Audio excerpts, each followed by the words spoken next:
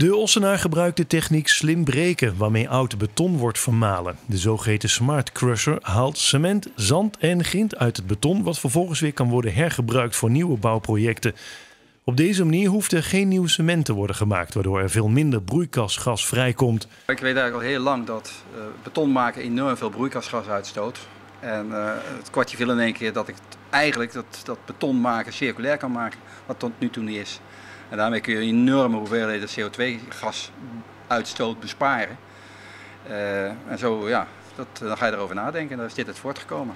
Door de werkwijze die Schenk heeft bedacht, hoeft het puin niet meer te dienen als verhardingsmateriaal onderwegen. Dan stop je het eigenlijk gewoon weg en dan blijf je opnieuw en opnieuw uh, weer nieuw cement maken en dus veel CO2 uitstoten.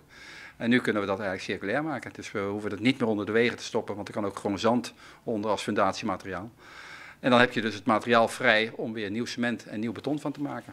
Dat hij met dit idee afgelopen week een prijs won, kwam voor hem niet helemaal als een verrassing. Als je toetst op eh, wat, wat je kunt reduceren aan CO2-uitstoot, aan, aan broeikas, aan opwarming van de aarde. Dus waarmee je de, de leefbaarheid van de aarde mee kunt in stand houden, dan had ik het wel verwacht. Dus dat, uh, dat was niet helemaal nieuw. Maar het is, een mooie, het is een mooi platform. Als ik die niet had gehad, had ik niet in de Volkskrant gestaan. Uh, had ik DTV niet op, uh, op visite gehad, had ik niet bij, vroeg, bij, bij Vroege Vogels geïnterviewd.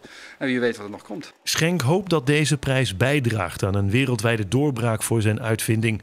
Het belangrijkste is volgens hem dat het milieu er beter van wordt.